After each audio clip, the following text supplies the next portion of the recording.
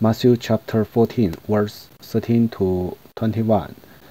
When Jesus heard what had happened, he withdrew by boat privately to a solitary place. Hearing of this, the crowds followed him on foot from the towns.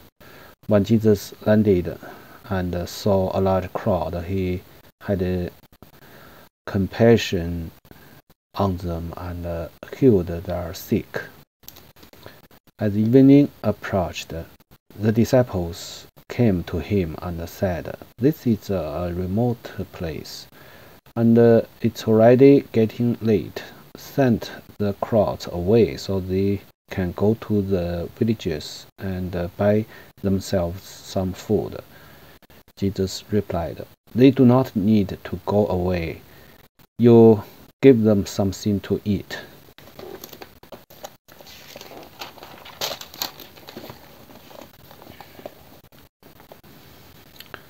We have here only five loaves of bread and two fish, they answered.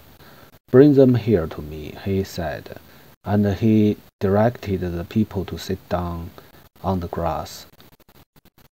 Taking the five loaves and the two fish, and looking up to heaven, he gave thanks and broke the loaves.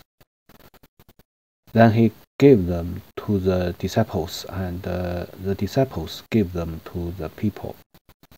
They all ate and uh, were satisfied, and uh, the disciples picked up twelve basketfuls of broken pieces that were left over. The number of those who ate was about 5,000 men, besides women and children. Amen.